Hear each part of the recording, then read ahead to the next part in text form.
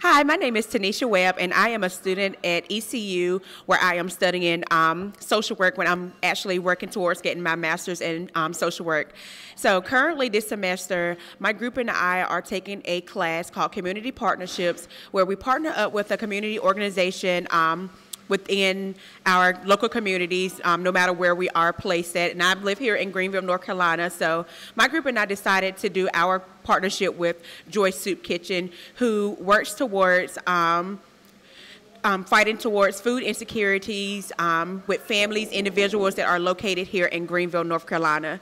So one of our main goals um, with partnering up with Joy Soup Kitchen was to help um, provide a food and supply drive for the organization to help um, Joy to be able to obtain um, all the items that they're necessarily needed um, to help fighting food insecurities here in Greenville, North Carolina.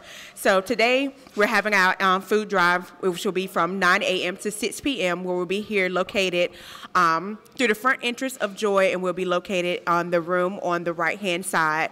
Um, with this room, we'll be able to sell um, all the items that are needed for Joy, such as um, canned food goods, um, snacks. Um, they take bottled water, anything that can go towards helping feeding the community um, here in Greenville, North Carolina, with fighting food insecurities. Myself, I'm Tom Quigley. I'm the head volunteer over here at Joy Soup Kitchen. And uh, Teneshia reached out to me probably about a month or so ago about wanting to have their group do a drive for us, which I take any type of drive coming in here because basically what I did is I gave them a list of stuff that we use on a daily basis. And they wanted specific items. I said, these are things we use every day. So she's like, is it okay if we set up a drive, come over to the soup kitchen and sit down here? And I says, hey, the more younger people I can get involved doing stuff like this, the better it's going to be when us old people leave out of here.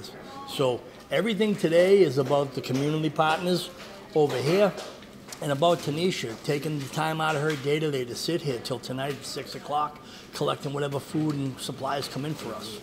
Okay, and can you tell me a little bit more about Joy Soup Kitchen itself?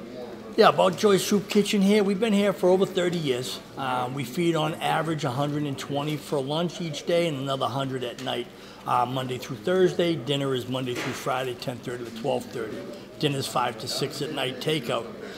Some days on the third, fourth week of the month, we could hit 250 meals a day. So it's a constant need for supplies. What it is, though, is we have lack of storage now. So we got to get it in and we got to get it out as quick as we can. And like I said, everything they're collecting today is daily use items.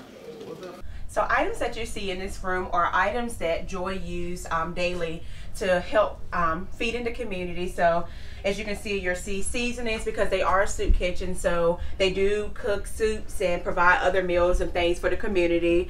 So right here you see a plethora of different seasonings.